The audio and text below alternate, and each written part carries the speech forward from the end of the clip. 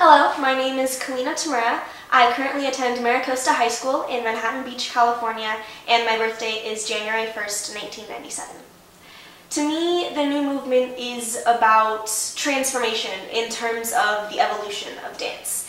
It's about taking everything we've come to label as dance regarding technique and ability and the history of dance and utilizing all of that to propel us into a new era, a modern, revolutionized form that incorporates interdisciplinary collaborations with media and technology and cinematography. And it's about encompassing all of those definitions into one hybrid, versatile form of art.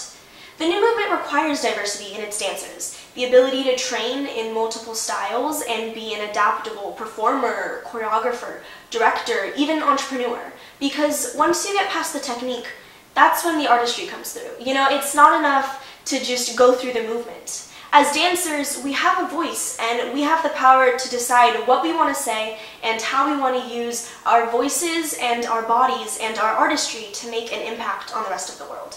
Thank you.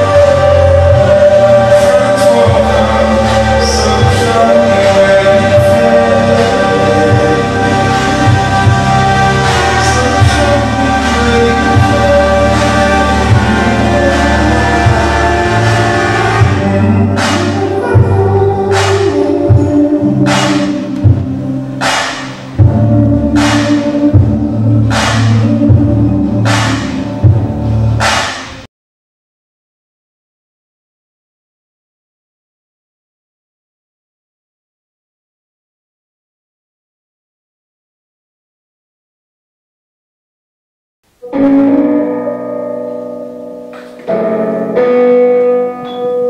I don't wanna hate. This should never going to